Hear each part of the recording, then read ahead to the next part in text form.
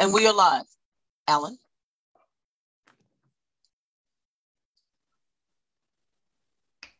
Welcome. I am Alan Benson with the African American Initiative, known as AAI. We are pleased to originate and co-host this legislative summit during the 2022 legislative wrap-up.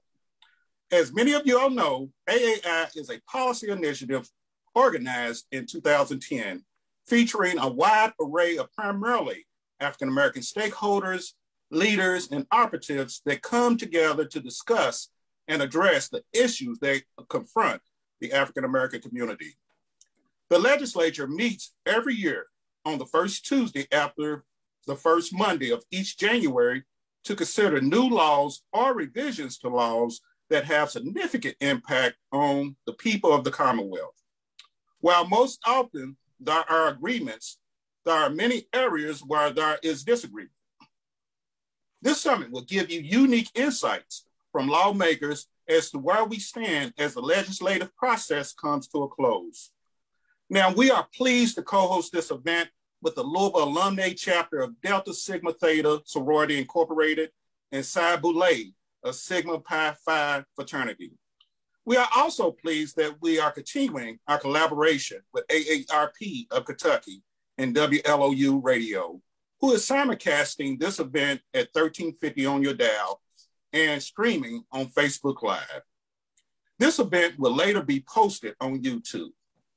Now, AAI wants to give special recognition to the National Black Caucus of State Legislators for their continuing work on the front lines of our nation's capitals, fighting for truth, justice, and equality. At this time, we will hear from the president of the Louisville Alumni Chapter, Ms. Rosalind Ross Welch. Thank you. Hello, all, and we are so excited that you could join us this evening for this phenomenal summit. My name is Rosalind Welch, and I am the president of the Louisville Alumni Chapter of Delta Sigma Theta Sorority Incorporated. I am pleased to co-sponsor this important legislative summit with AAI. Delta Sigma Theta Sorority was founded in 1913 on the campus of Howard University to promote academic excellence, to provide support for the underserved, and to educate and stimulate participation in the establishment of positive public policy. And that's why we're here tonight. Social action is uh, the foundational principle of our sorority. And to that end, we engage with legislatures locally, on the state level, and the federal level to advocate for policies that will benefit people of color, particularly those in historically underserved communities. We follow the actions of state legislature and work with our partner organizations to advocate for change where needed. We are pleased to be key members of the legis- we are pleased that key members of the legislature are here today to share with us, and we look forward to hearing so much from you and to learn from this discussion. Thank you so much for having this. We will now hear from our moderator, State Senator Gerald Neal of the 33rd District of Kentucky. Thank you.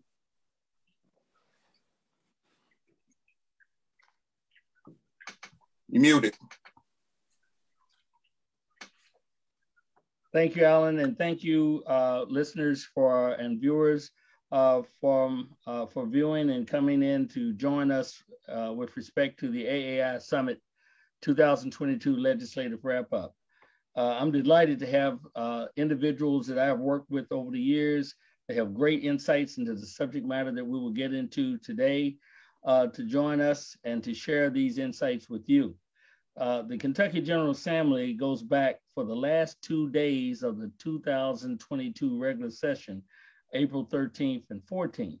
So once again, there's a mixed bag of policy, and we always have this every time we come together, and some notable opportunities were actually missed. We did some good things, we did some things not so good. We refer to it as the good, the bad, and the ugly. So I'm very delighted to have my friends joining me here today. And first of all, what I want to do is introduce these individuals. First, we have the Senate Democratic floor leader, uh, Senator Morgan McGarvey. Uh, he represents District 19 here in Louisville. Secondly, we have Representative Joni Jenkins. She's a House, Dem House Democratic floor leader, and she represents District 44 here in Louisville. Additionally, we have my good friend, Senator Reginald Thomas, Senate Democratic caucus leader, his district is 13, and that's in Lexington, Kentucky. And we have also my good friend, Representative District Graham, uh, Derrick Graham. He's House Democratic Caucus leader, and he represents the 57th district in Frankfort, Kentucky. And of course, we have Representative Pamela Stevenson, who represents District 43 here in Louisville, and Representative Keturah Herron, who represents District 42. So we have a full house here today, and we are delighted to have you and to have them because we have a lot to talk about. We have a lot to talk about. But before we go there, I'm going to start with uh, Rep- uh, Senator uh, Senator Morgan McGarvey to give us sort of insight as to how this thing uh, that we call a legislative session has impacted him. And I'm going to ask each of our guests to go right down the row to get a sense of what they feel about what we just went through and as we wrap up. Senator McGarvey. Thank you, Senator Neal. I uh, appreciate the introduction, appreciate the opportunity to be here. Wow, uh, this is what we call the long session. Uh, the reason we call it the long session is because this is when we do the budget. The budget is the state's ultimate policy document. It's our moral document. But this session had more to it than that. Um, this session started with the once in every 10 year process of redistricting. Uh, I think that set the tone for the session. And i am going to talk about some of the good things we did, but I have to say my overall impression of the session, it was a missed opportunity. Starting with redistricting. Redistricting was an opportunity for people to come together, to finally get rid of the partisan gerrymandering that's been going on in Frankfort for so long and allow for a nonpartisan redistricting commission to draw fair maps. Instead, two of the three maps that were drawn are under court challenge right now. Uh, and I think there's a much more transparent way we could have done that. I mean, people think redistricting is technical government stuff, but it's not. This is how we are represented in our government. Uh, it's actually the, the part of the foundation of how every session for the next 10 years is going to go. Didn't start off on a good note. I think it was a missed opportunity. You know, then we get into the budget this is a budget year. Again, this is this is the big one. We can talk about our values all we want to, anywhere we anywhere we want to, but unless we put our funds behind it, then a lot of times it's just words. This was a once in a generation opportunity for us.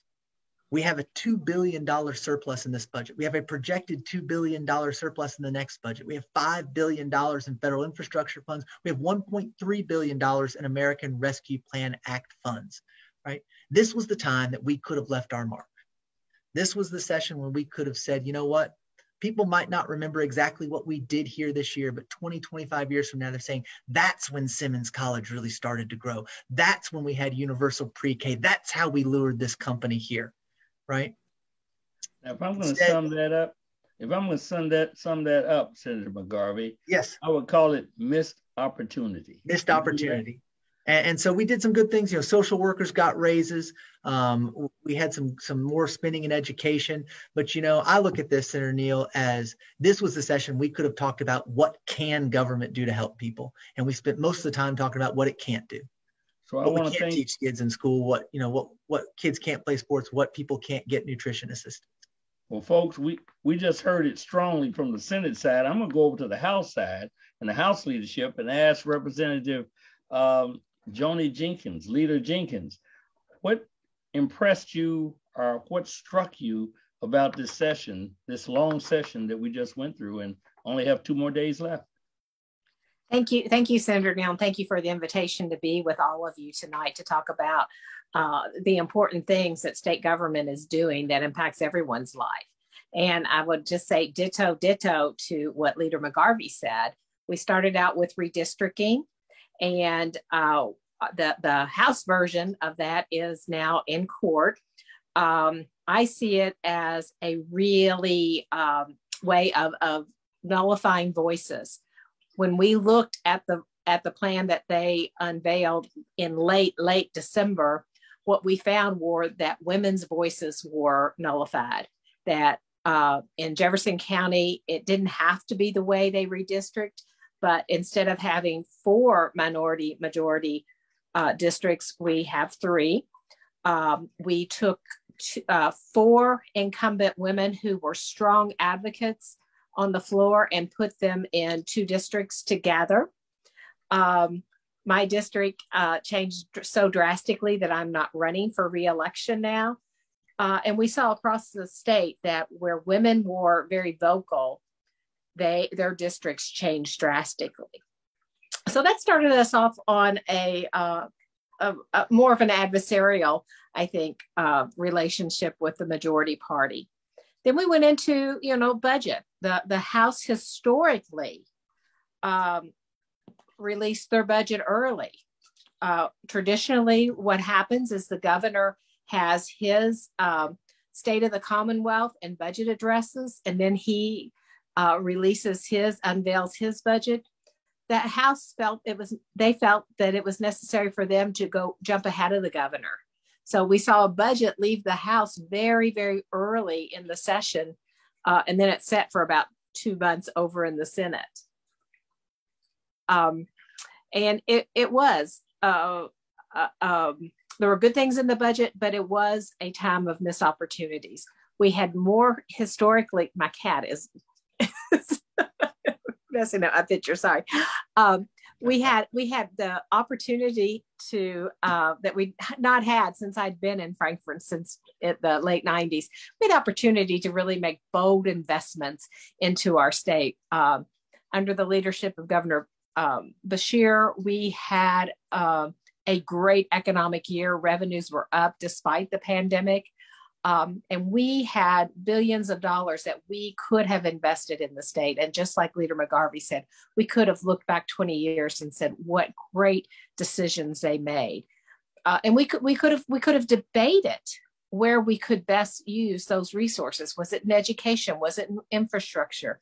Could we have made sure that every Kentuckian had clean drinking water? Could we have opened up the state to broadband? But we never had those decisions because they were all made behind closed doors.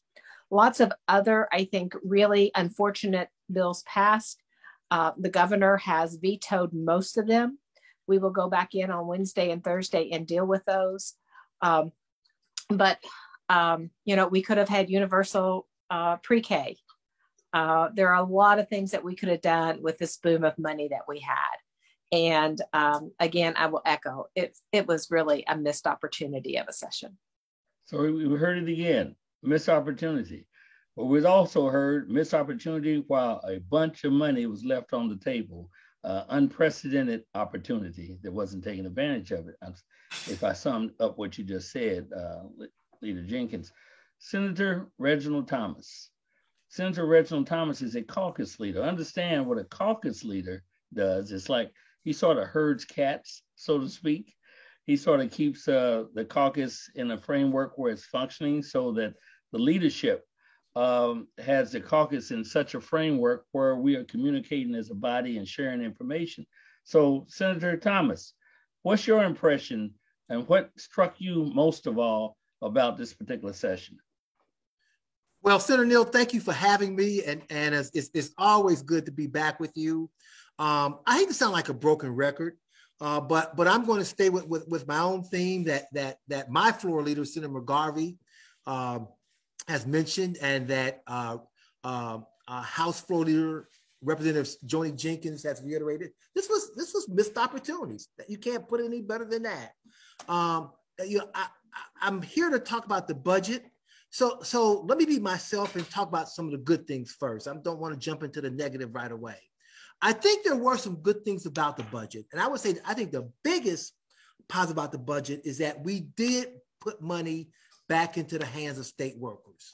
Uh, on the area of social workers, for instance, who you know, have been ignored for years, we're giving social workers, first of all, a 10, a flat $10,000 increase in their salaries. Okay.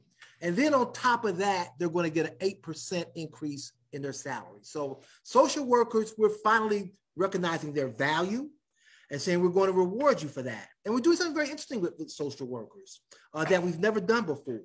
We're basically giving, giving these workers a sabbatical after four years. We're saying after you've worked four years, if you want to uh, go teach school, uh, or if you want to pursue those uh, uh, some other avenue of interest, to you.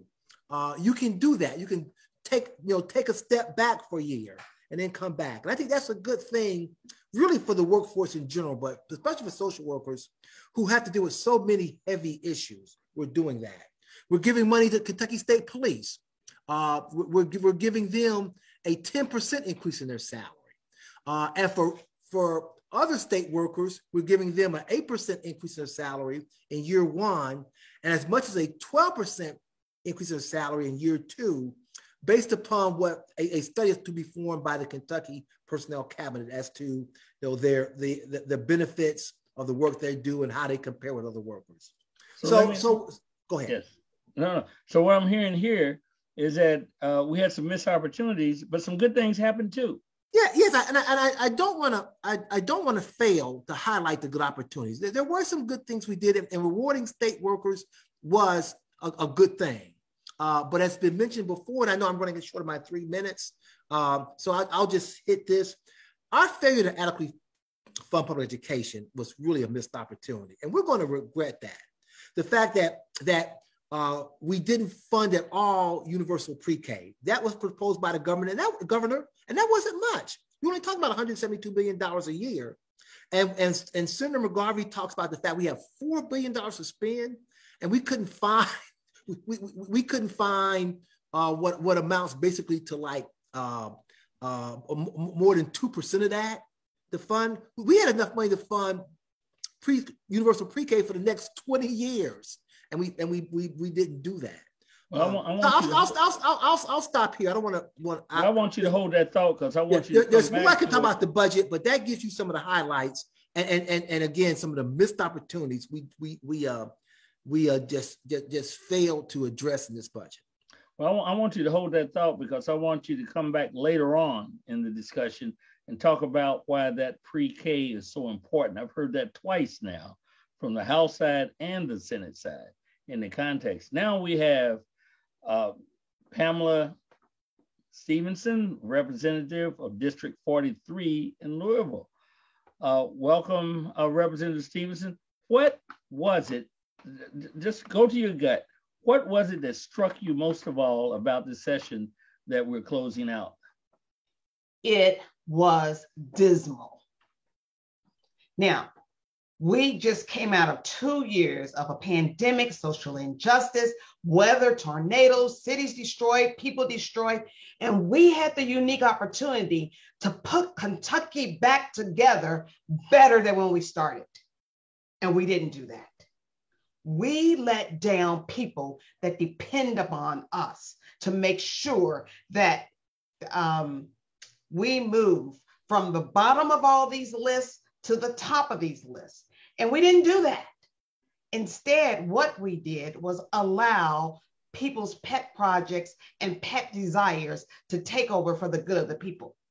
Every day, we, when we're in session, we say the Pledge of Allegiance. And right across the banner, it says, In God we trust.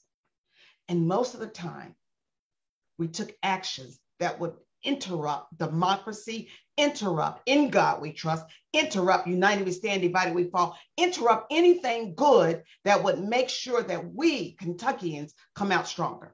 So it's dismal because we did not take care of the people and we could. And they've been hanging in here with us for years because we didn't have the money. People that don't have good drinking water, they waited for us. People that don't have broadband, they waited for us. People that don't have jobs, they waited for us. And they waited and we have it and we failed. Disney. Well, it seems to me that I'm getting a theme here. I'm getting a sense of this, but I got to go to Representative Derrick Graham because he's been there for a while. He's seen it. His district encompasses the capital, I would like to hear Representative Graham, uh, the caucus leader in the House, uh, Democratic caucus leader, what struck you most of all about this session? You're on mute. My top colleagues touched upon it. You know, I'm an educator, um, taught for 27 years, and we know through studies that if you you invest in the early years, that kids can perform no matter where they come from with that foundation they can perform better as they move through the process of going through elementary high school and even to college. So we we missed out on that in, in a certain uh, case of not uh, with pre-k universal pre-k. But i want to touch upon something that uh, is very near and dear to me and to you and to uh, most of us uh, in the General Assembly, and that's Kentucky State University. And so we had a charge the university needed $23 million and $18.5 million for the school to be able to get through this year and the following year in terms of helping the university get back on track. And so what we were able to do, instead of the five-year pro, uh, process that they requested, the General Assembly put it down to three. Uh, with the understanding, I think the language is in there, as the university continues to progress, it can move to 5%. And we can talk about that. Uh, yeah, I want you to get uh, into more depth of that when we get in the conversation. When we talk about that. And then but the other thing that, yeah, yeah. And so the other thing that I think is probably the most important for all of us is terms of our democratic process. And everyone has talked about it already, the leader in the Senate, leader in the House. But I was one of those ones who decided to take it to court. And we're in the process of that. But I just want to give you an idea as to how bad the congressional districts and our districts are. And I gave this example in, in, when we talked about it. If you start going from Lexington, which is in the sixth congressional district, and then you want to drive over to Louisville, you go through five out of six districts, congressional districts, within an 80 mile uh, radius. And there's only so six. It's, it's only six, and the only area that we're missing is, is Eastern Kentucky. Hmm. But if you come through Frankfort, if you come through Lexington and and and Woodford County, you in the sixth district. When you get to Frankfort, you are in the first district. When you get to Shelby County, you are in the fourth district. If you get to Eastern Jefferson County, you are in the um, second district. And if you get to downtown Louisville, then you'll be uh, in the third district. That is ridiculous. That's ridiculous. And so I think that is one of the most important things that we have to address, not only for the congressional districts, but in our House district, which Representative Jenkins just talked about.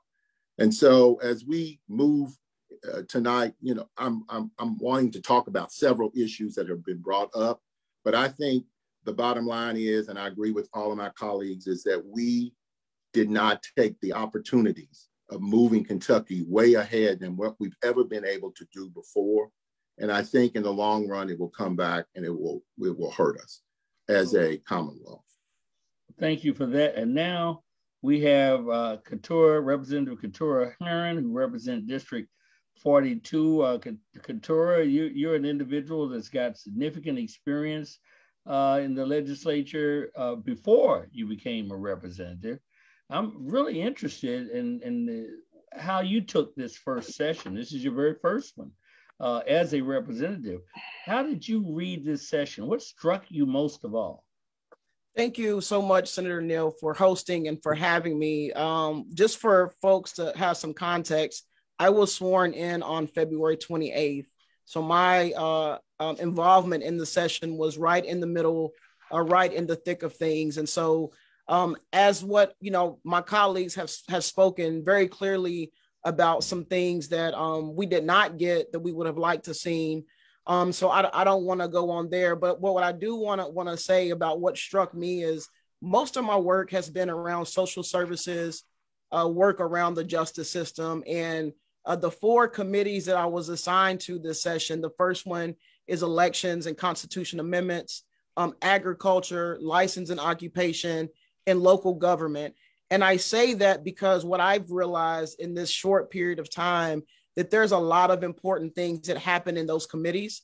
For instance, local government, anything that happens with fire, uh, the fire department, police, public works, planning and zoning, that is going to come out of that committee. Uh, when we're talking about agriculture, we know statewide, uh, Black farmers have been left out, that uh, Black folks are really trying to to get their land and start to farm. Those things are going to come through those committees. Um, license and occupation, anything that we're talking about, real estate, alcohol and beverage control. And so, so for me, uh, the highlight for me is was was getting to know and understand what these other committees do. Uh, the work that I've done before as a as a policy strategist and a lobbyist was on those social justice issues. And so um, I am excited to continue to, to learn and work Um, but I will say this: there's one bill in particular, House Bill 44, uh, that was passed, um, and that bill made sure it makes sure that students are able to take mental health days. And so that was a, um, a piece of legislation that I think that was great. Um, and so I will expand upon that as something that I would like to see uh, some other things further along that, that line around mental health and making sure we have more mental health providers. But I, um, th- those are my highlights, things that I'm excited about. Uh, but we do have a lot of work to do, and I look forward to doing that with you all. Well, I'm, I'm to tell you something. You raised a very critical area there because there were students, more students there actively dealing with the legislature than I can recall. Uh, I saw a lot of activism, a lot of uh, professionalism with these students. I mean, they're very sophisticated in the way they approach that. And you just named one of them, the one uh, that's related to House Bill 44. Look, I'm gonna I'm gonna, switch around a little bit because it's it's poked its head through all of this discussion we've had so far, and that's this: the budget. The budget is the most important policy statement that we can make. We all know that. It has it, it reflects our values. It's what we are. It's who we are, and we just framed it inside of a miss a series of missed opportunities. What I would ask each of you to do is to think about it. I'm gonna start with Morgan. I want I want you to think about what was it that was so egregious as it relates to the budget and or where it missed the mark, in other words, shortfall. And then I'm going to flip it. I want you to say something about and share with our audience what was important that happened that was reflected in the budget. So I'm going to ask each of you all to go there. So I'm going to start with Morgan and I'm going to work my way around this. And I'm going to ask Reggie to just go those two those two points because we're going to come back later on, and I want Reggie to go in depth on the on the budget. So uh, Morgan, I'm gonna we're gonna get informal here for a minute if it's okay with everybody. So Morgan, what was the plus? Uh, what was the good, and what was the bad and ugly? This is when you don't want to go first because you're thinking about the entire budget and uh, picking something out. Um, but no, I, will start with the bad. We've talked a lot about how it's a missed opportunity. I don't think we've gotten really into the details of why that is. I'll give you an example why I think it's a missed opportunity. We are spending over a billion dollars in this budget to give a tax break to the wealthiest Kentuckians. You're spending over a billion dollars to give, I should say, a further tax break to the richest and wealthiest Kentuckians, and it will hurt we talk about not just the poor, this will hurt working middle class families who are trying to make ends meet. Instead, we could have used that billion dollars to grow our economy. We could have used that billion dollars to educate our kids for workforce development, for putting our entire state forward that would have generated even more revenue that then we could have talked about some of these things. And when I talk about these tax cuts, you remember since we're being informal, we are we're informal all the time. We're all, you know, we all know each other and work together on a day-to-day basis. Gerald, that tax plan that was introduced was brought into committee at 12:45 p.m. No one had ever seen a copy of it before. No one had ever seen it.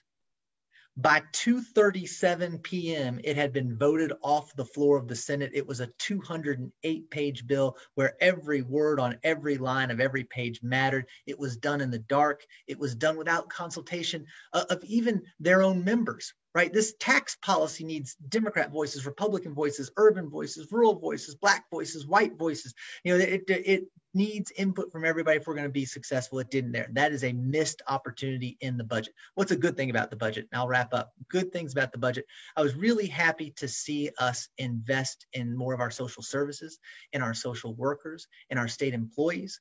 Um, you know, you look at a place like Maryhurst, which does such wonderful, good work in Kentucky they're paying their employees 11 and 13 dollars an hour when you can make 19 dollars an hour for stocking shelves at walmart or, or 21 dollars working at ups or now i saw 24 dollars an hour working at target. Um, these are super important jobs taking care of some of our most vulnerable people in the state. We have to be able to compete with the private market uh, to make sure that those functions are are still in place. Uh, this budget gets us toward that which i think is a good thing. Thank you for that joni what do you think? What what was good and what was ugly?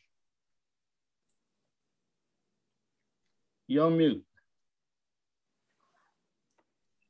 I was trying to outsmart my cat.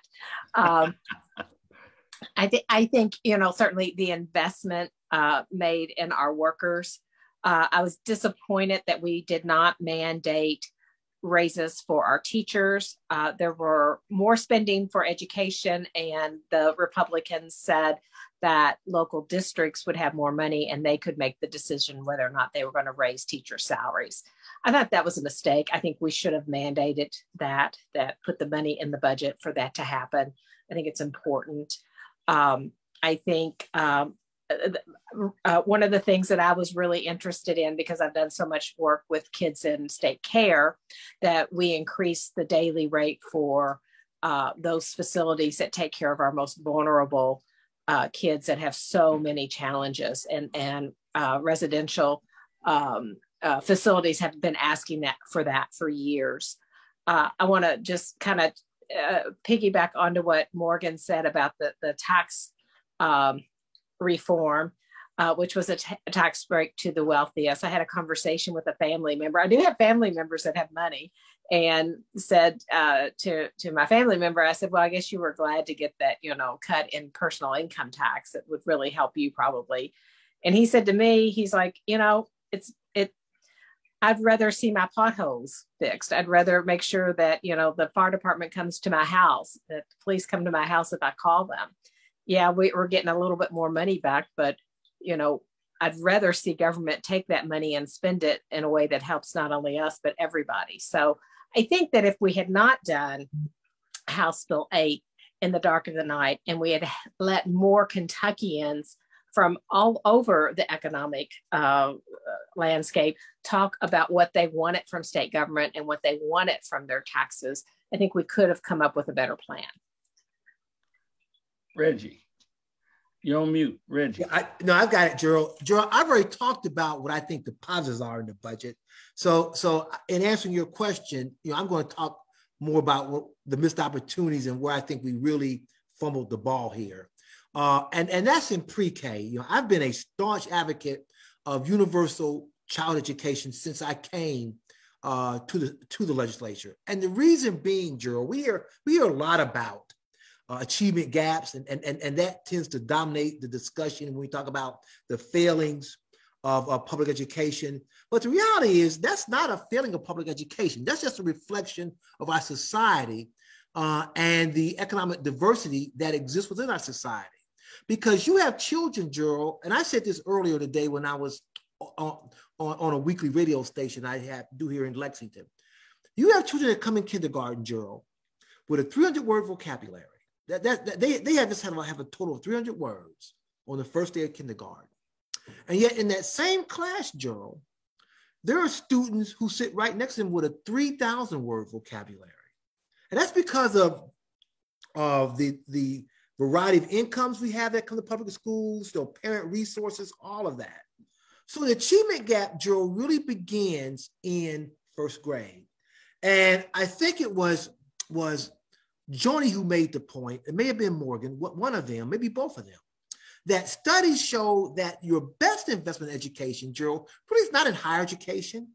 It's in early child education. That, that's, that's what your education experts tell you, that you get children in there early and teach them you know, the alphabet and how to read and how to begin working with numbers, that that's the biggest payoff for you.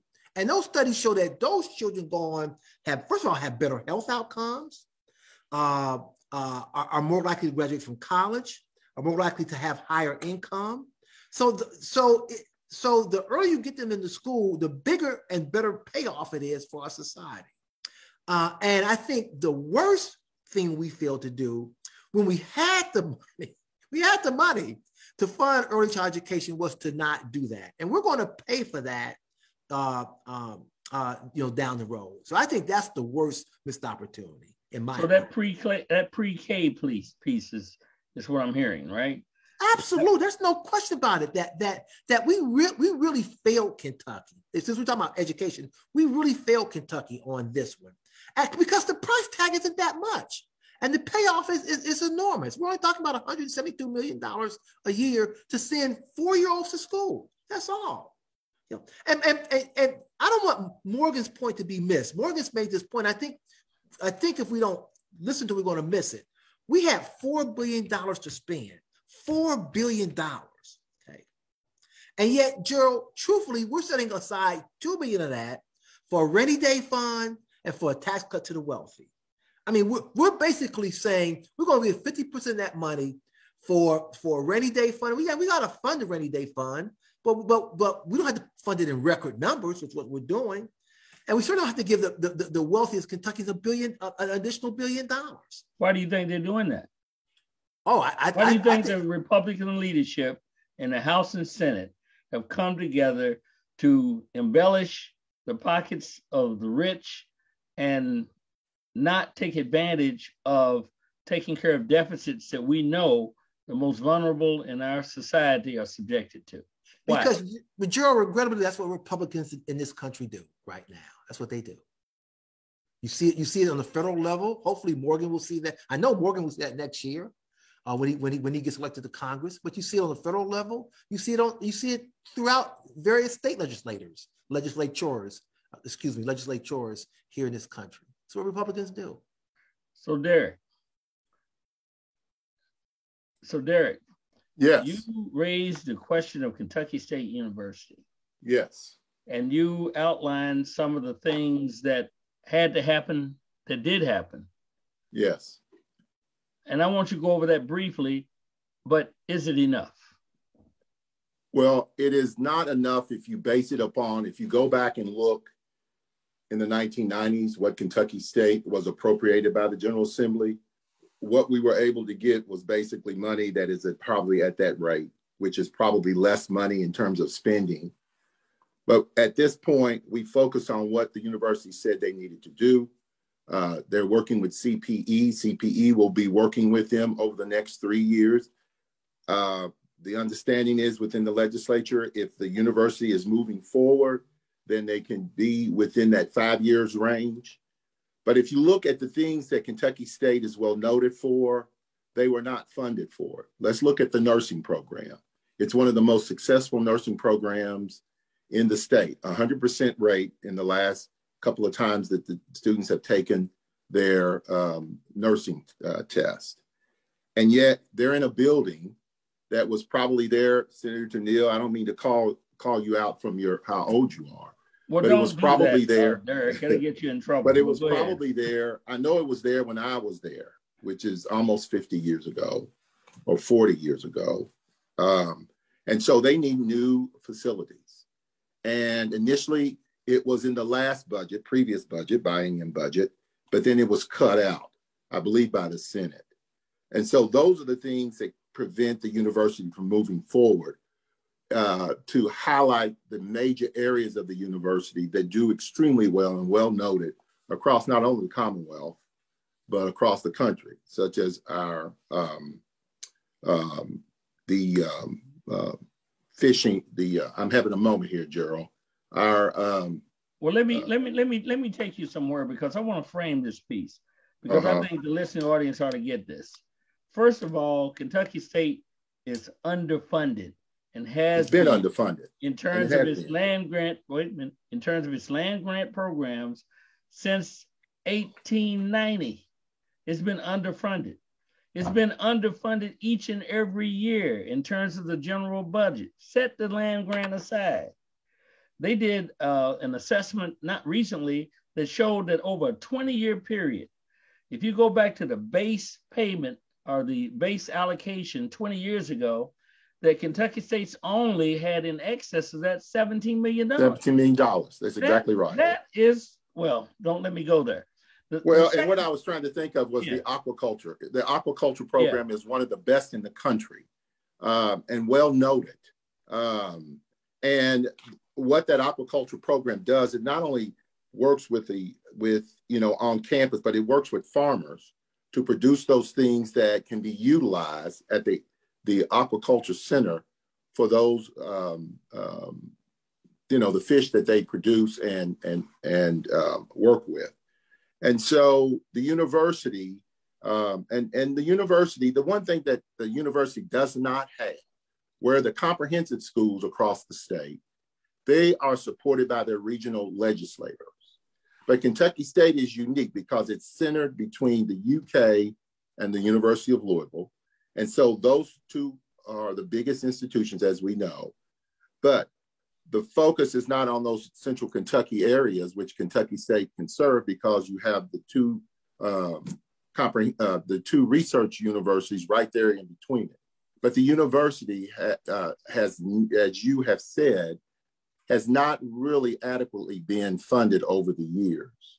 And we know that. We have the we have we have the figures. We see that. We know that. And so, you know, as we move forward, I think the state legislature also has to look at what we have done over the years, not over the last 10 years, not over the last 20 years, but all the way back uh, at the beginning of the university. And so that's something that we need to address as legislators, and we need to remind our colleagues of what they have not done in the past. Well, let's let's let's be clear on this. We got to be clear on this. The problems at Kentucky State University were visited upon by the General Assembly's lack of doing what has been right by virtue of that historical historic uh, institution. So it's You're a General exactly Assembly right. problem. And Kentucky State, notwithstanding, has actually moved forward exponentially in terms of its retention rates, its graduation, graduation rates, its exactly enrollment right. rates, and yet they try to push this piece on in Kentucky State. They cannot defend their position. Pam Stevenson, let me let me in the same framework that we're talking about, the good, the bad, and the ugly. We want some good in here because we're talking about a lot of ugly here, and, there's, and there's a lot of bad here. Tell me some good. I know you got some good. Well, I, I, the one thing that I appreciate about the budget is we discovered going through this process that the elderly in our community were on a year-long waiting list for Meals on Wheels. And that was taken care of. If you've lived a whole life and contributed to this community, you shouldn't be hungry at the late hour. That's a good thing. The other thing that that uh, that was good is there were a lot of people who depend on us that are disabled, differently abled, and we put some extra money into the budget so that we can expand our mental health services and our services for those who can't do it by themselves. So those are two good things. Don't ask me for a third. Okay, go to the ugly. okay, the ugly is the process. If if this last year, two years has taught us anything, is we live in a global world that every country is connected to another country and every state is connected to another state. And we have tr- not taken the actions that we need to take so that our children can compete at the global level. If you look at all the actions we took, our children first, what they won't learn what they need to learn soon enough. Then, secondly, they'll go out into the world not knowing their history because they won't be taught. And then third, we're depending on them to make the difference, to think their way out of problems that haven't even been created yet. And we're not teaching them to think. We're not funding teachers. We're not funding schools. We're not funding pre-K. We don't put our money where our mouth is. Got you. So Keturah, you spoke of House Bill 44. And um, what was good about that I know you found something else that's good.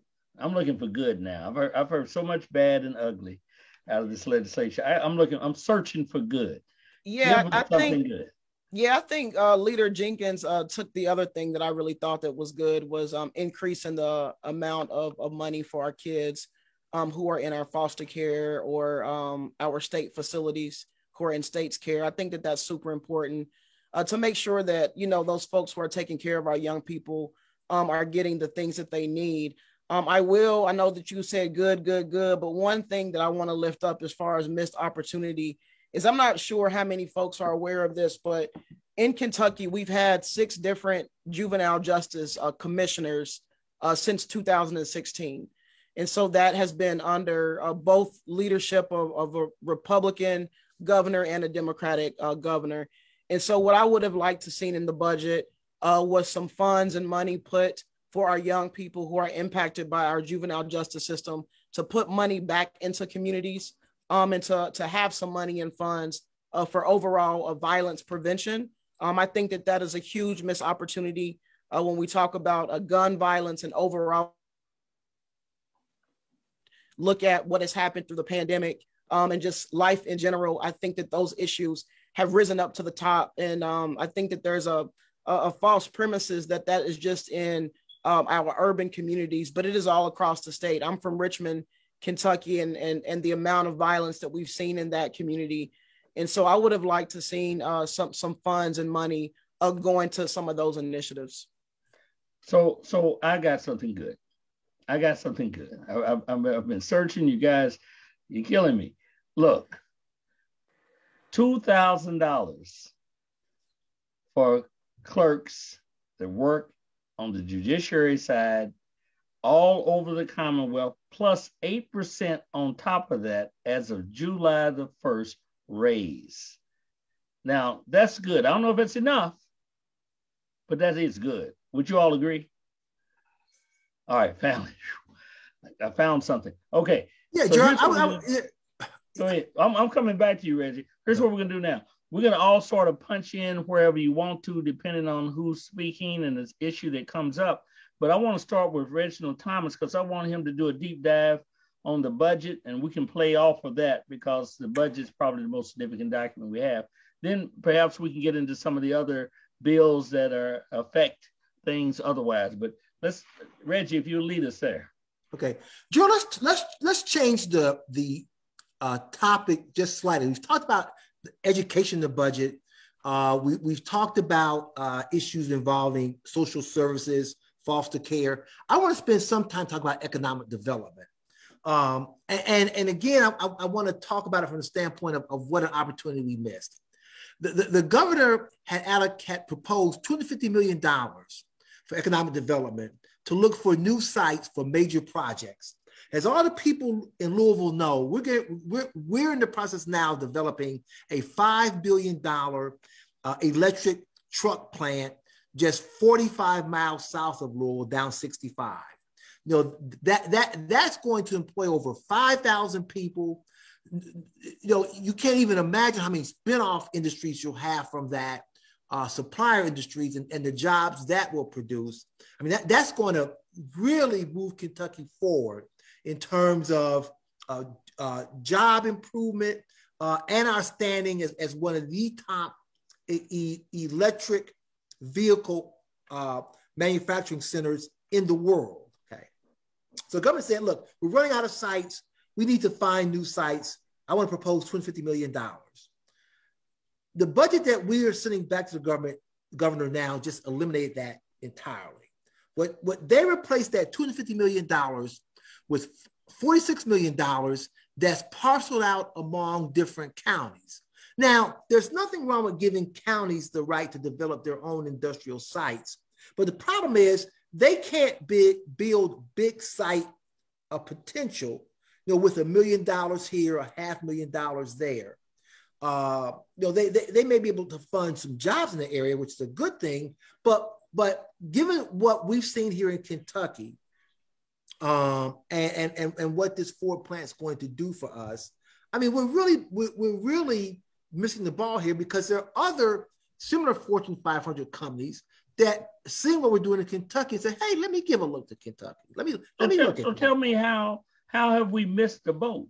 We, well, we, we, well, well, because the, this this budget doesn't provide for enough funding to build to, to for us to develop big site operations. As I said, it parcels that money out instead, and only 46 million of that, as opposed to 250 million of that, among different counties throughout the state. Yeah. Well, let me let me let me just say this that I think you're right about that, but someone else may have an opinion about that too. The the governors, and you have to say this, this governor, despite the environment he's functioning in, and has done an extraordinary job. I mean, I don't know any way other way you can look at it. I mean, think about it for a minute. You have a house that's controlled by the other party of the governor, the Republican Party. Governor's a Democratic governor. and a Senate that uh, has a supermajority as well. Yet the governor is in a pivotal position and has brought more economic development to the state through the use of his office. I can't remember a governor's ever done that at the level he's done it. Does, can, does anybody have some research and some information that can show something different here? Well, John, I don't want to dominate the conversation, but, but I have some research. What, what, what Governor Beshear has done since he's been in office is eight, he's provided, he's added 18,000 jobs to Kentucky. The, the, the, that, that's the highest number we've ever seen in one year by a governor. Uh, so, so uh, in terms of raw numbers, that's the record he has set for Kentucky, and just in his first year of office. Hmm. Anybody else on that? Because I want to switch uh, on to something. I'd like to, what I'd like to follow up with is the nature in which the House and the Senate Republicans are tying the governor's hands. And I'm not a lawyer, but there is a system of sep- separation of powers and checks and balances. And I do think that the legislature has taken too much on itself and taking away the powers, the traditional powers that every governor, regardless if they've been a Republican or Democrat, whether or not some of these um, uh, bills that they have passed are constitutional. So there's several of you here who are who are lawyers. I'd like to see your take on what you think if the General Assembly has overreached in its powers uh, between them, between us and the governor. Morgan. Yes. I mean, and, and I say this, we're all legislators. I'm a legislator. I believe in a strong and independent legislative branch. We are the policy making body. Uh, we set the policy for the state. We appropriate. That's the fancy word for we spend the money, right? We determine where it goes. But we have to have a strong executive branch to carry out the policies we set, to determine um, how this, you know, if we put however many million dollars or billion dollars into Medicaid, how that's actually given out by the cabinets, how it makes it to the people who need it. We need a strong executive branch to do that. We need a strong executive branch in a time of emergency. The Kentucky General Assembly can only meet um, between January and April and even numbered years, and January and March in odd numbered years, right? So when a tornado strikes 250 miles of West Kentucky, it's the governor that administers those funds. It's the governor that puts the emergency management team into response, right? The governor needs to have appointments on these committees and boards. Uh, the governor needs to have that executive power. And you see the legislature trying to take it away. And I think the reason they're trying to take it away right now is because they don't like the governor. Governor. You didn't see him do this when Matt Bevin was governor. And arguably they should have if they were going to do it at all. But they didn't. And so I think the I think they've overstepped. I think they're overstepping in other ways too. We just saw the Kentucky General Assembly sneak through in the dark of night a bill that would allow any licensed attorney to carry a gun in the courtroom. And they're not allowing judges to say otherwise. Think of all the the adversarial, sometimes dangerous situations happen in court. Look, people go to court. We've got Colonel Pam on here and, and Gerald. We got a bunch of lawyers on this call, so I'll stop talking. Um, but I mean, look, you know, a courthouse is where people go because they couldn't resolve a dispute between themselves on their own, right? And we're saying, as a General Assembly, judges, you can't decide what happens in your courtroom. What if the judges start ruling how we can dress on the floor of the Senate? Right? I think that's an overreach. I think we're getting into the lane of the executive and the judicial branches and not staying in our own lane where we should be strong, independent policymakers, but leave it at policy. Well, I'll tell you one policy that we instituted some time back and embellished on it. We said everybody can carry a gun. they can it can be hidden. It doesn't make any difference. Uh, there's no rules or regulations. You don't have to be trained on it. Um, but but as long as you're not a convicted felon, you can carry a gun. If you uh what, you got to be 21, Reggie, I guess, to do that. But we have a proliferation of guns in our cities and in our rural areas. And yet it seems like we're trying to enhance and increase these numbers for what? Somebody. And in one instance, yes. on the House floor, we actually had an argument. They presented an argument that a parent had bought a gun to a high school basketball game. And I'm like, well, what did you think they were going to do, given that you said that anybody can have a gun at any time? Where are they going to take it? To a restaurant? Don't be surprised when you get bitten by the rules that are not for the greater good. Yeah. And the other part I want to piggyback on what Morgan said is our very existence is depending on the separation of powers. A strong judiciary, a strong legislative branch, a strong executive branch. And when you have a legislative branch that takes all the emergency powers from the governor, the only full time uh, uh, professional, and then you say to that person, you can't use state funds to challenge anything we might have done illegal you start down this road that erodes the democracy, the promise of America, and the unintended consequence is the chair will have no legs. So when somebody sets the bottom on it, it's going to fall. You know, one of the one of the uh, questions was raised by one of the listeners at WLOU. Uh, raised a question. We got kids running around with guns, um, and we've set these policies where people can have it, but kids still aren't don't have the uh, authority, uh, the permission to carry guns, um, even under these laws. But you find a proliferation of guns. This is a problem that's bigger than Kentucky, isn't it? We just pile it in and just going along with the flow, creating more guns on our streets. And these youth, they're ending up in youth hands and others' hands. How do we stop that, guys? Is there a way? Yeah, I'll, I'll jump in. It's very interesting that we started talking about um, uh, guns right now. Just recently, I think it was yesterday or the day before, there was something on the news that talked about um, Biden, the Biden administration are looking to um, make these guns called ghost guns illegal. And basically, what it is is that you're able to order these pieces and parts of guns on, off the internet and assembly your own uh, guns and there's no way to trace them. They don't have any type of serial numbers.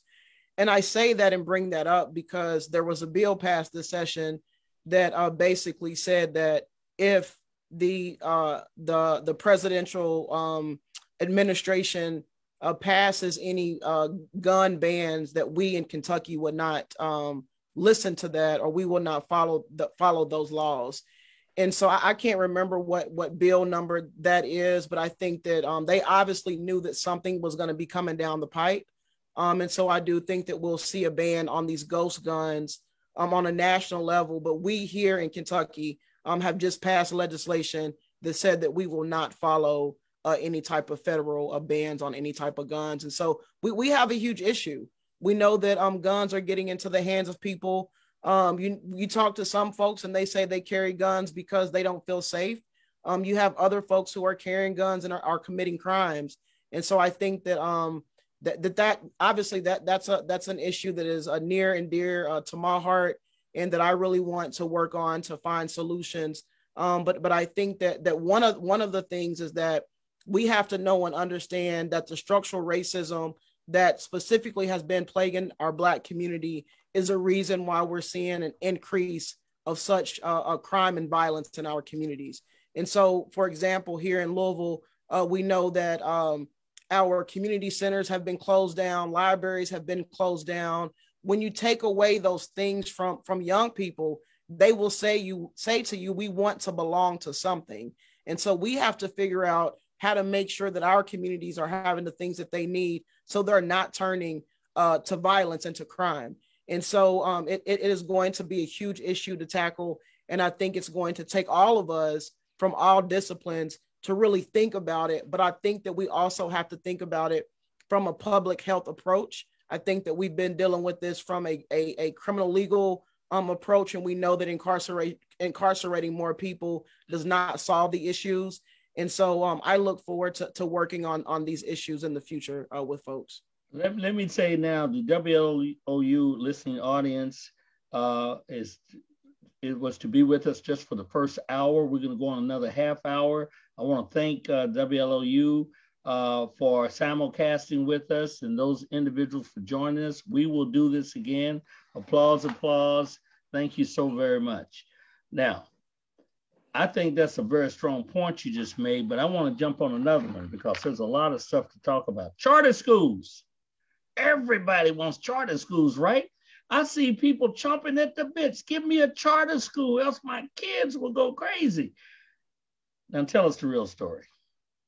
Well, Joe, let, let me begin here because uh, as you as you know, I, I, I was uh, quite vociferous in my opposition to charter schools when, when we when we dealt with um, I think it was Senate Bill uh, Senate Bill six um, uh, uh, uh, in, in in the Senate. Uh, and now House Bill 9. Yeah, yeah House Bill, House Bill 9. Joe, Joe here, here, here's the, the problem with charter schools. I, and, and I, I'm going to try to limit my remarks to three minutes. Number one, in this state, you can have for profit charter schools. Okay. What that means is that based upon the terms of the contract, the, the, the for profit charter uh, uh, could be able to retain everything that they purchase in the school the, the, the, the desk, the books, the, the software, and the building. They, they, they can end up owning all of that uh, through the terms of the contract. Okay. And so that that is the biggest ripoff. We, we talk about we talk about bad things in this in, in this discussion. They siphon off the money. The, the worst thing in the world would be to take public dollars that are TIF education and transfer those public dollars into private ownership. I mean, that's sure. I mean, that's just so outrageous. I have to laugh to avoid crime. Okay. Then, in addition to that, Gerald, they can cherry pick their students. Okay. If you read the language, they don't have to take free and reduced lunch students. They don't have to take students with disabilities. Now, they may be able to take them according to the language, but they don't have to. They can cherry pick their students. You know, they, they talk about this lottery system, but, but when you have a lottery system and it's already rigged as to who's eligible in the lottery, that's not that's not too much of a lottery system. Okay.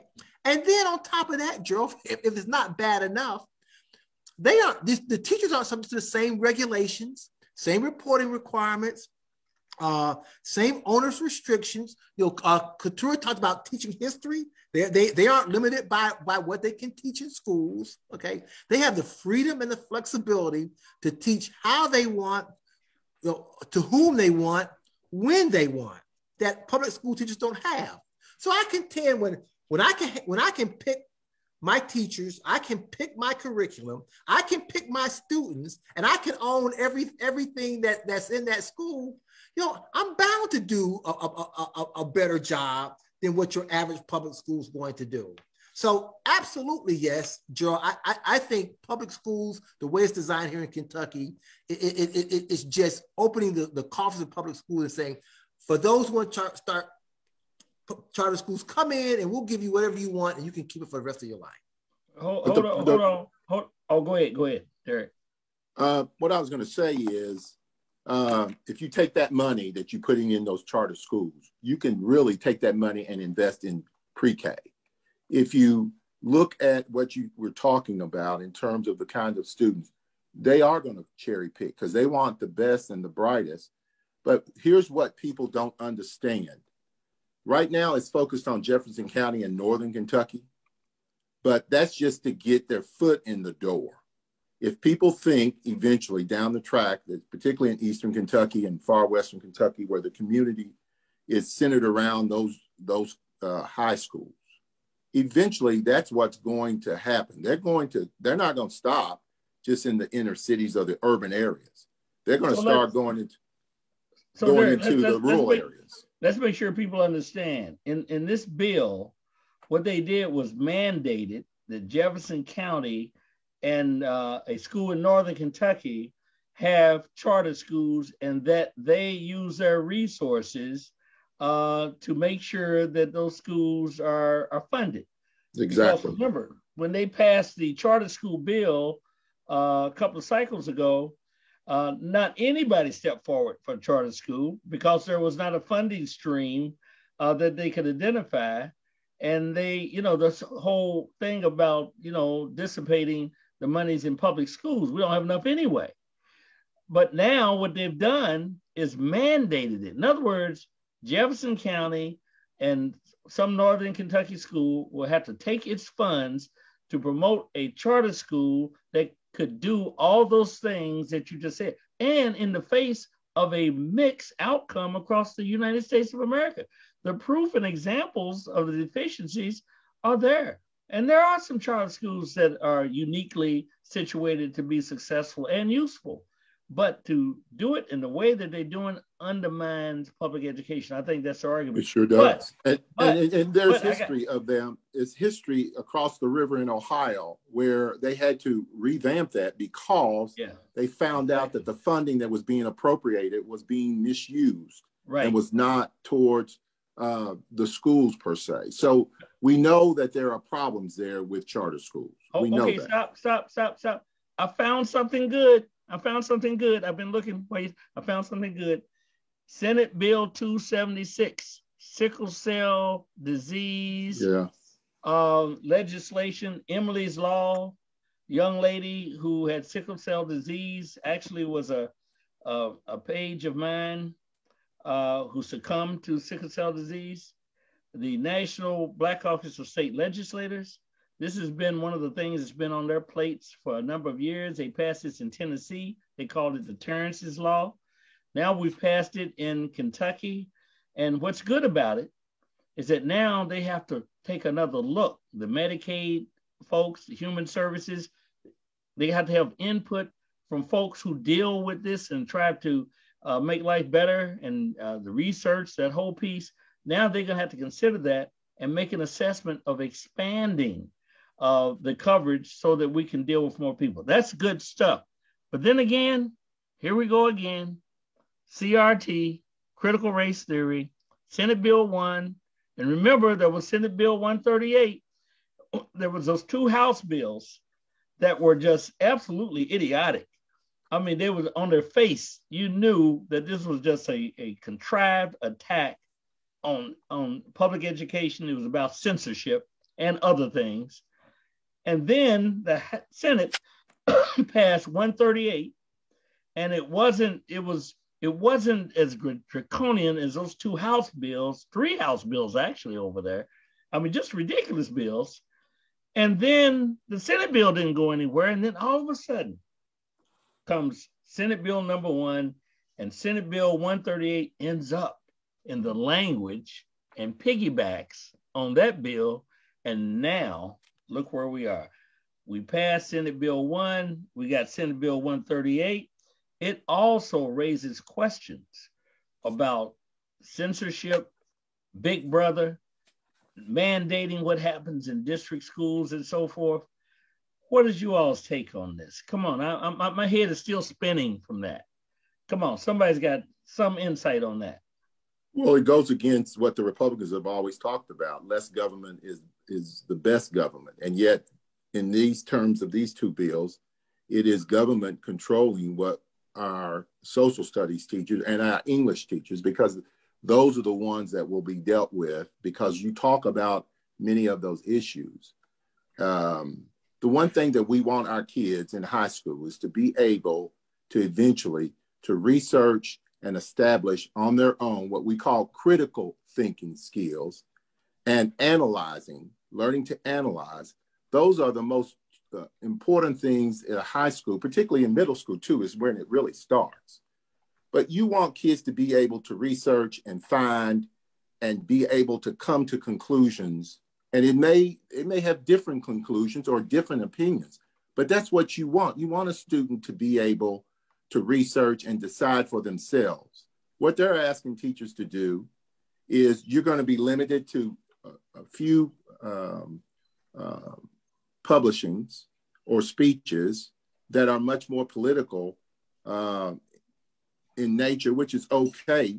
But they're all institutions. I mean, they're all uh, materials that the kids need to be able to reach out to, regardless. You shouldn't, a teacher should not restrain them to certain amounts of articles or books.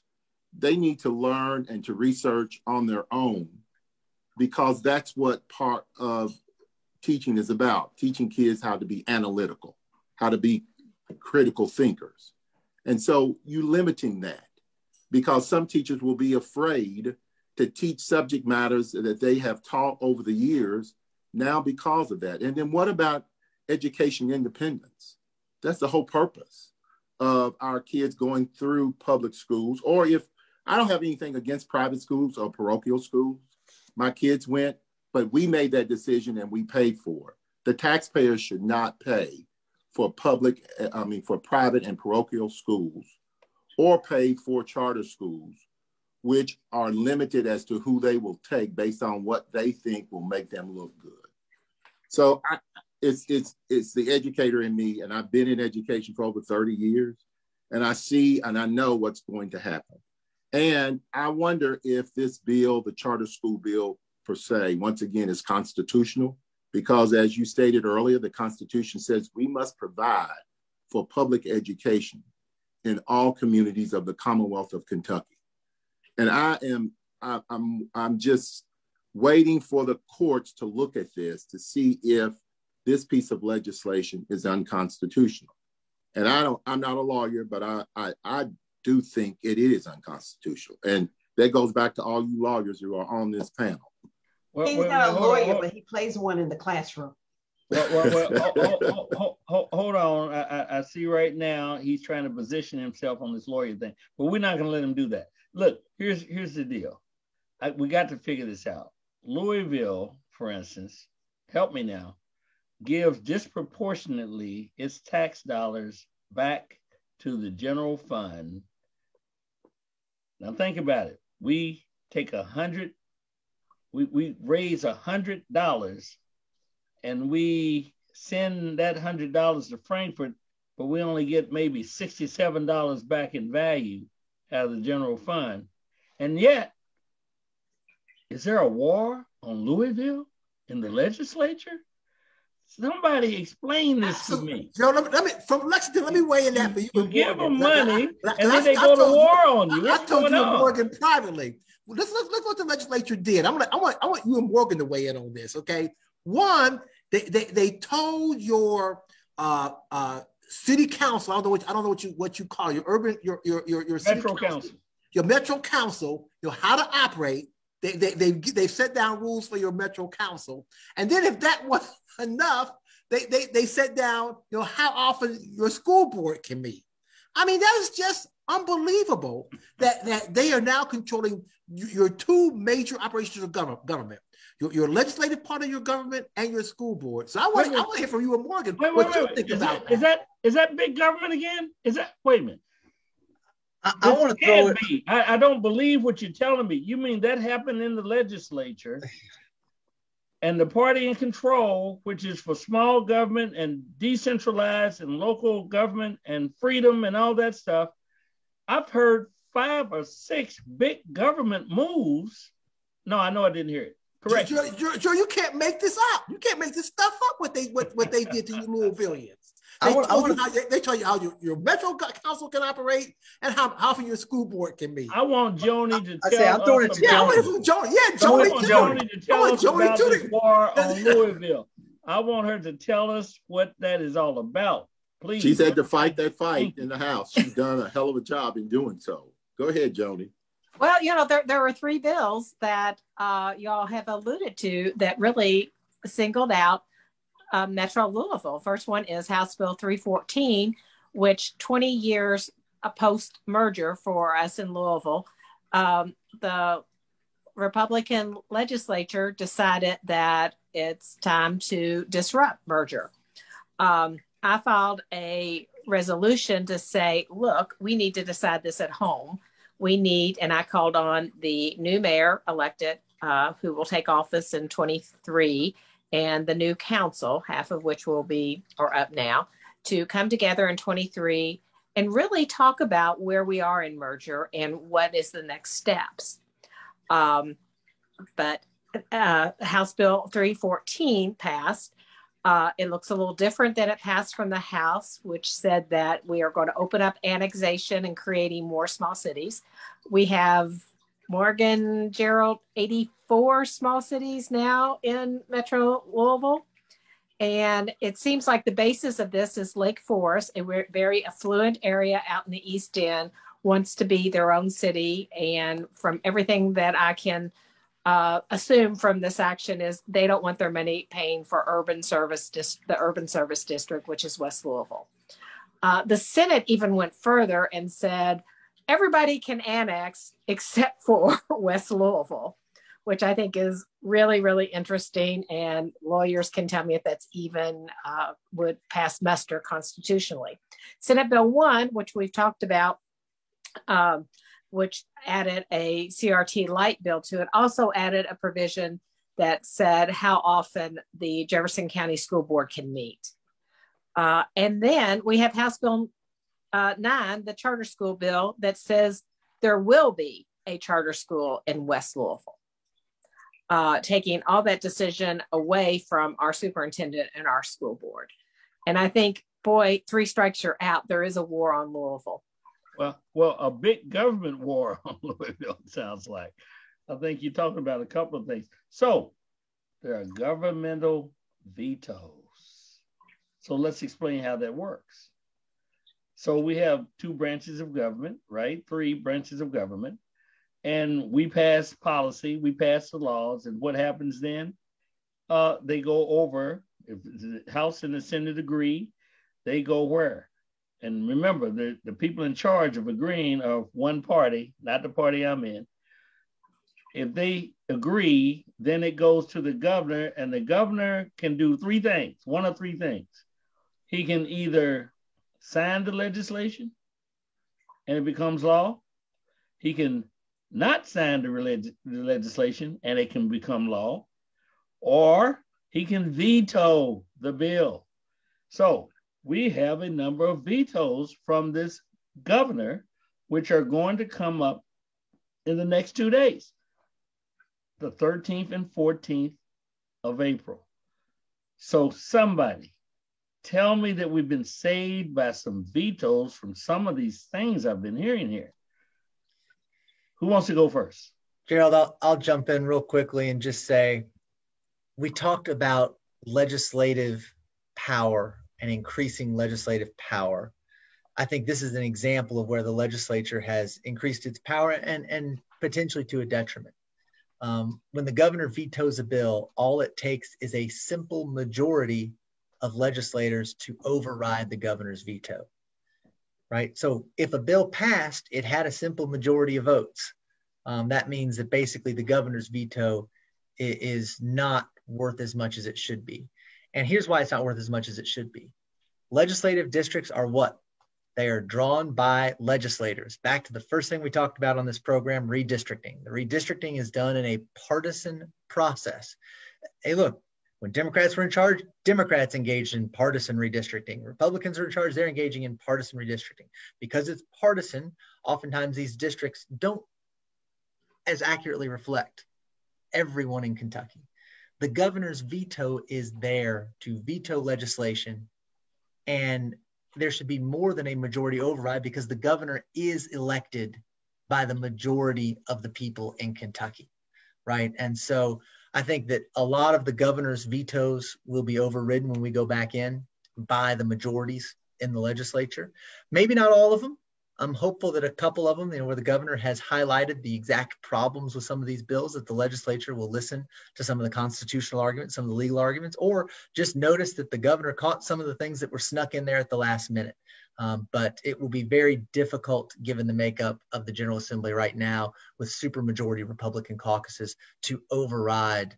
Uh, I'm sorry, it will be very difficult to sustain the governor's vetoes with, with supermajority Republicans. So, can you think of one bill that might not escape yeah. the veto blade? To, to a bill we've talked about, House Bill 690. I mean, that amendment was snuck in there in the dead of night. Uh, there's no way that bill would have passed unanimously through the House if people had known what was in it, including the Republicans. Um, and 690 so, meaning, if you read sorry, yeah, House Bill 690 was the bill that that snuck on the amendment, put it on a fair. That's what they do when they sneak an amendment on. They put it on something non-controversial, right?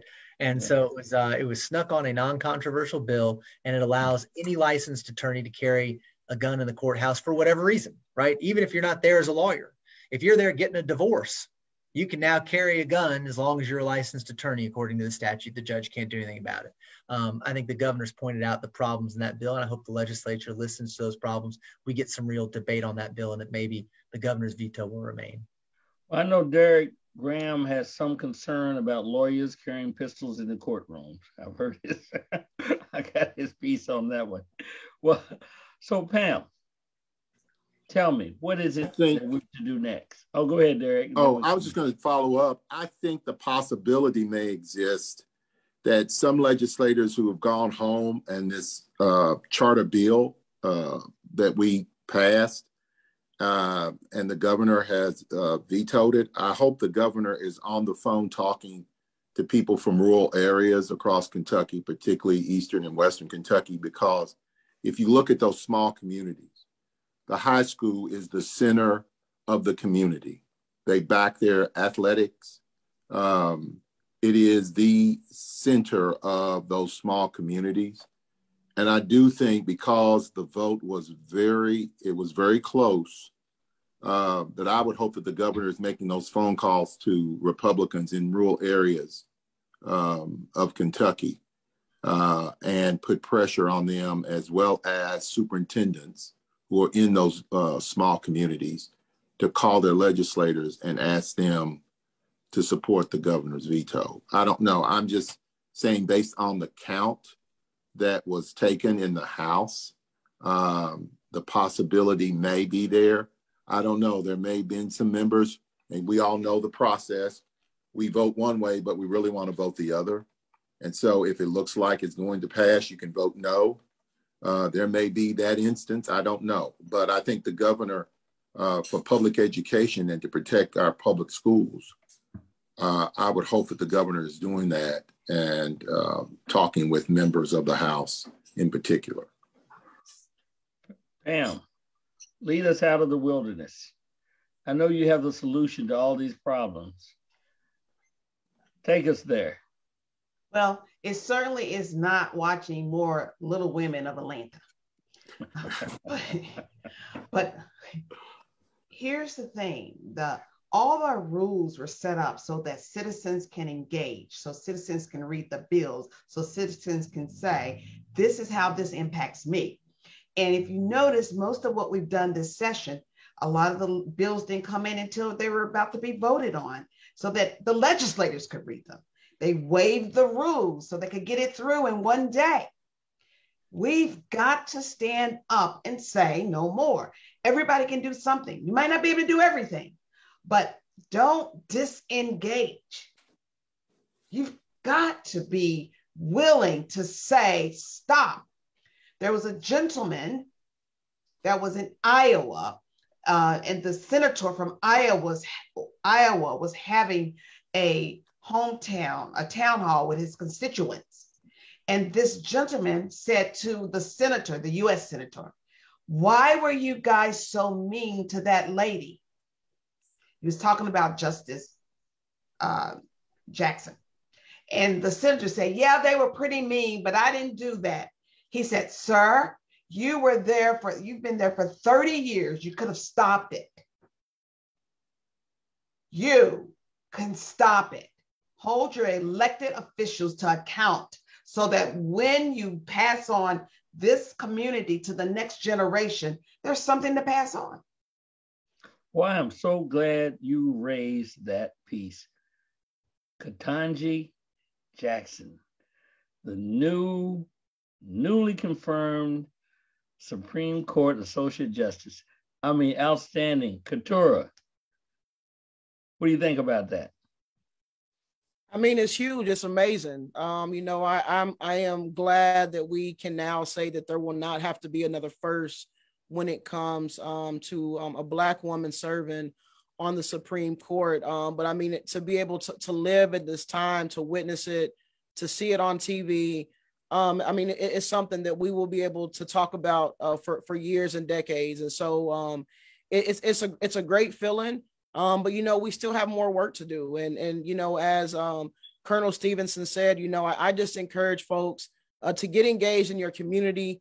Um, that that we as legislators, we as elected officials, we cannot do this by ourselves, and um, it is up to you all to be engaged in the process, um, and to also um, if someone is not doing what they said that they were going to do, is to find someone else and, and, and take their seat and vote them out. And so it, this is going to have to take a collaborative effort uh, to make change here um, in, in Kentucky. Um, but um, Judge Ketanji Brown uh, gives me hope uh, to continue to do this work. And it is an honor uh, to be able to serve uh, with you fine folks. Representative Graham. 30, 30 seconds. Can I just add one thing? Go ahead. Kentucky was the first in something. Kentucky was the first state to make the last day of February, the day connecting Black History Month with Women's History Month, a day to honor Black women. And you did a resolution on that. And we did a resolution on it. All right. And it we're the first state. We're setting the uh, the way. So I'm very happy about that. And the way you honor Black women is to honor the women in your life. So everybody's included. Well, I've done a wonderful job. Ask my wife. No, don't ask. Uh, Representative Graham, take us there. Where we have to go from here? You're on mute. I think that what we have to do is try to find common ground. And what people don't understand is that we all have almost the same needs and the same wants.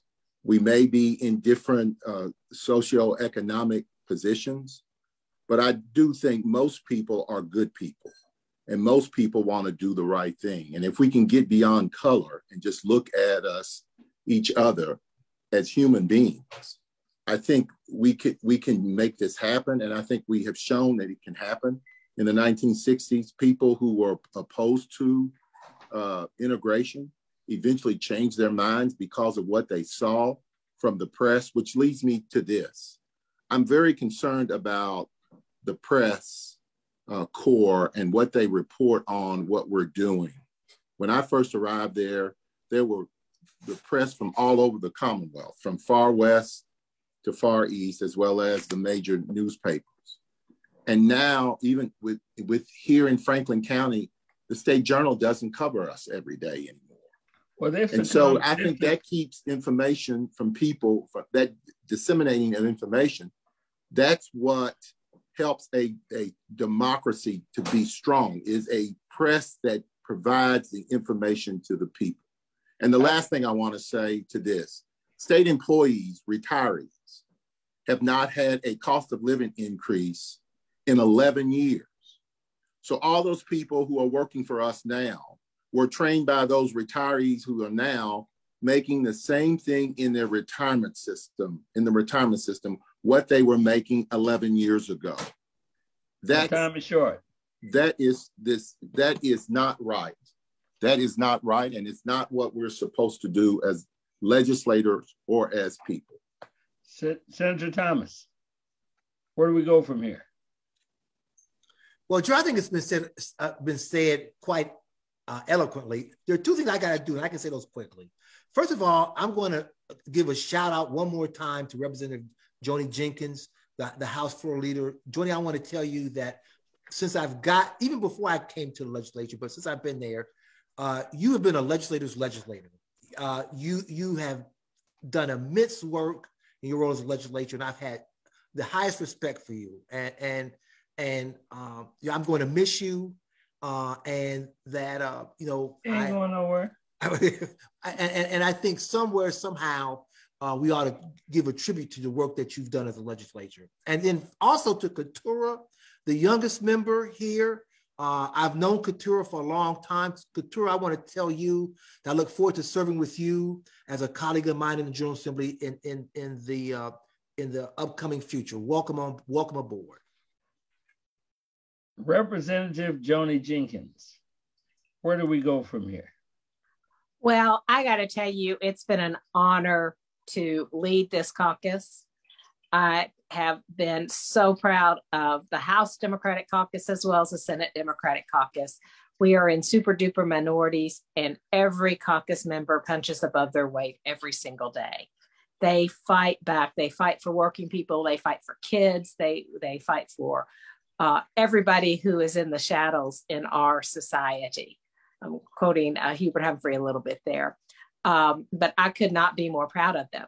We need to add to those numbers. We need to, in this next ele- election cycle, look very, very uh, hard at who's representing Kentucky. And if you're in an area that doesn't have a Democratic state rep or state senator, you need to get out and, and work because this caucus and the, the Senate caucus are working every day to do what's right for Kentucky. And it's hard work, but they're up for the battle. I could not be more proud of my members. I told you she wasn't going anywhere. Didn't I tell you all that? and that's a blessing. Senator McGarvey, you have the last word. No, I, I just want to uh, piggyback on everything everybody else has said and, and, and what my dear friend, mentor, colleague, partner in crime, sister in arms, Joni Jenkins said, We don't give up. We move forward, we do not give up.